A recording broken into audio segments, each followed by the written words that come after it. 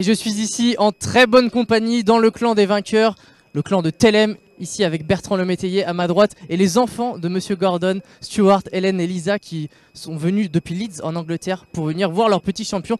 On va commencer avec Bertrand Lemétayer. Bertrand, il a une histoire de dingue ce cheval.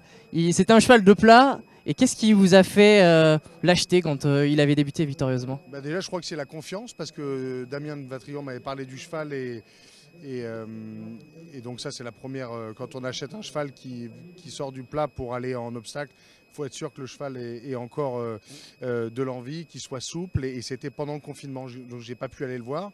On l'a acheté sur photo et vidéo, taille. On a, on a repris les plans dans tous les sens. On a envoyé un vétérinaire et on a acheté le cheval. Et M. Gordon a dit oui tout de suite en disant mais pourquoi on achète un cheval de plat? Mais en disant oui, en disant on va voir ce que c'est. Je dis il est très grand, on verra.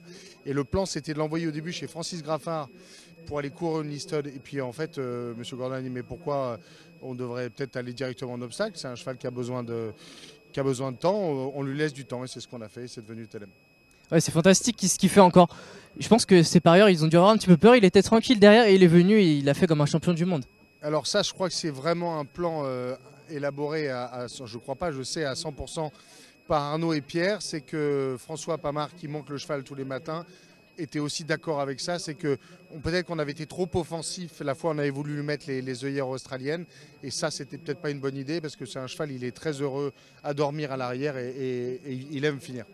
Merci Bertrand, on va demander un petit mot au clan des lauréats du côté des propriétaires. L'Angleterre est venue nous piquer une nouvelle fois une victoire de groupe 1.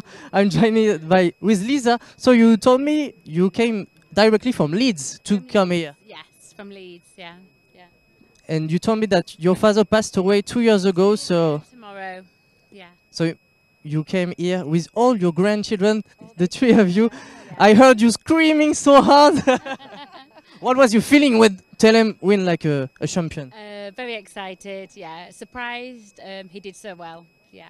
And how is French racing? You English people, you have Cheltenham. Is it a bit like Cheltenham here in Auteuil?